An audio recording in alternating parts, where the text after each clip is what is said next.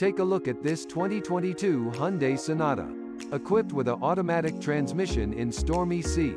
This car comes with some great features including Android Auto, HD radio, anti-lock brakes, Apple CarPlay and more.